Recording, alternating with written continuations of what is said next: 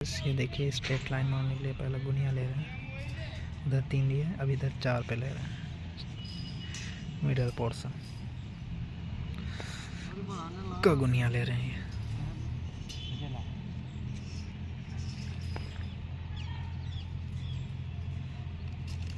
ये देखिए।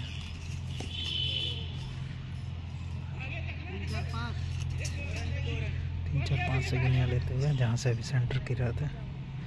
पाँच पे मिलाएँगे ये देखिए पाँच मीटर में पकड़ ले भैया पाँच दस है वो।